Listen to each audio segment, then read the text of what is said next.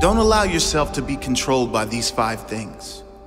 Many people spend their life at the mercy of circumstances, living at the mercy of what happens to them, living at the mercy of other people, not living in the present because they are stuck in the prison of their past.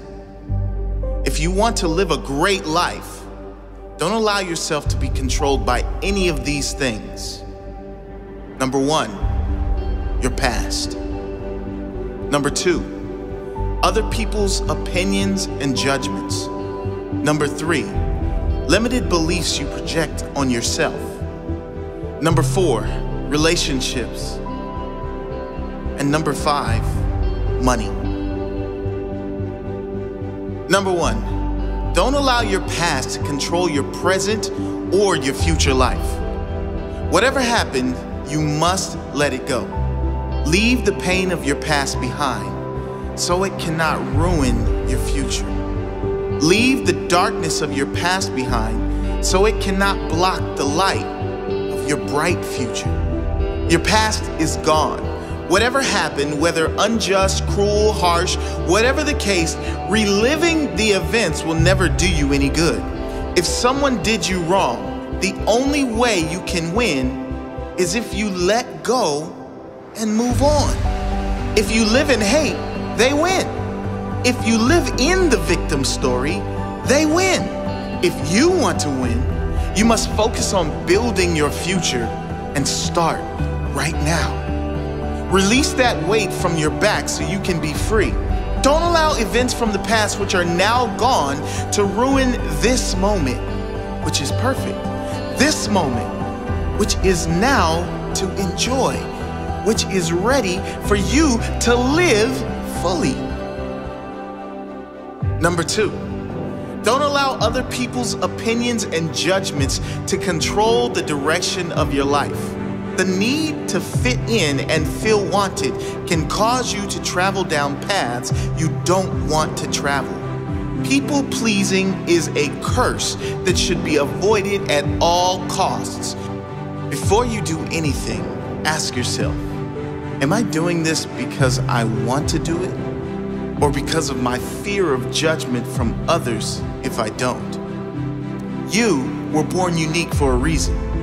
You were born to stand out, to be appreciated and loved for who you are. Don't dim your light so you fit into the dull background of other people's lives. Shine bright as you are. Those who really care for you will see that light and shine with you. Number three, don't allow your life to be controlled by your own limited beliefs. Now, a warning with this one these beliefs may be conscious, but more than likely, they're unconscious. They may be unconscious limitations that have been conditioned in you from a young age and throughout your entire life by listening to those around you who never reach for their own dream. Notice your own limited beliefs and tell them to shut up. There is nothing you cannot do nothing you cannot have, and no one you cannot become if you believe in yourself. If you believe anything is possible, guess what? Anything is possible. When you change your belief from limited to unlimited, your potential is unlimited. Imagine what you could achieve if you lived your life as though anything is possible, as though miracles are a standard requirement of every day. As the saying goes, when there is no enemy within, the enemy outside can do you no harm. When you have nothing inside holding you back, there is nothing outside that can hold you back either. Your entire life will change the very instant you decide to change your mindset. The instant you decide to see everything as a gift.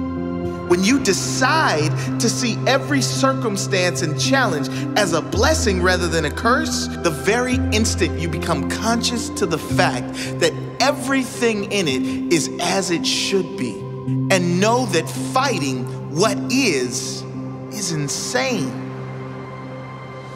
Number four, relationships. A touchy subject. But if you are always needing another to be happy, to feel complete, then you are always one moment away from a breakdown if that person leaves you, or unhappiness if the relationship you are in is not going well. I'm not suggesting to avoid relationships. There is no force on earth that is greater than love and connection.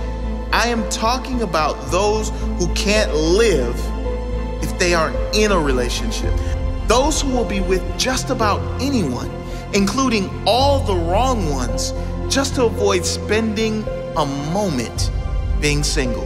What I am saying is to develop enough mental strength that you get to the point where you don't need others to make you happy. You are just as happy being alone as you are in a relationship. And number five, this is what controls the majority of humans on the planet. Can you guess what it is? Money. This does not mean you shouldn't want abundance. It doesn't mean money is evil. You know as well as I do what great things you can do and how many people you can help with money. What this means is do not allow your decisions to be controlled by money. If you are choosing something only on the factor of how much money is involved, you've just made the wrong decision.